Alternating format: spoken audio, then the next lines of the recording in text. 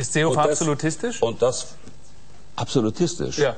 Nein, das kann er natürlich nicht sein. Das hat sich ja gezeigt, als er äh, einen anderen Spitzenkandidaten für die Europawahl äh, haben wollte und Markus Ferber erklärt hat, ich trete an.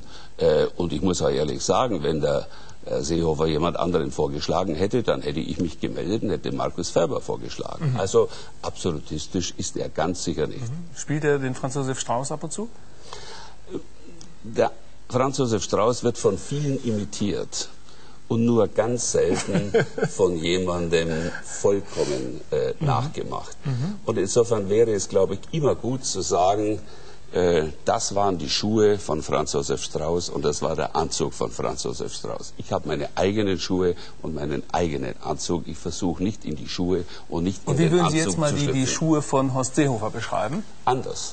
Hausschuhe? Anders. Nein, nein, nein, nein, auch nicht Filzpantoffeln. Ja. Nein, nein, das sind schon ordentlich genagelte Schuhe, mit denen er umgehen kann. Er hat ja auch früher viel in den bayerischen Bergen und in Südtirol gewandert. Also das kann er schon. Ist die CSU dem Seehofer bedingungslos ausgeliefert? Nein, das sind sie ganz sicher nicht. Entschuldigung, ich war Herr Strauß auch nicht äh, ausgeliefert, obwohl er ein großer Mann war und ich war ein kleiner Landesgruppenvorsitzender. Nein. Aber heute, jetzt. Dazu, dazu gehört Schneid, dazu gehört Selbstbewusstsein.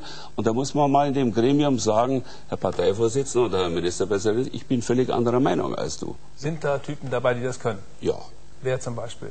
Ich sage nochmal, das ist zum Beispiel der Markus Ferber, das ist der Manfred Weber, das ist der Gutenberg, der das, der das tadellos kann, das ist auch Ramsauer, aber das dürfen Sie ruhig selbstbewusst tun.